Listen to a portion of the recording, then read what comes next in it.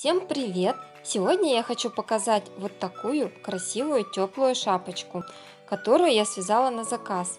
На такой узор у меня есть подробный мастер-класс на моем YouTube канале Душевное рукоделие.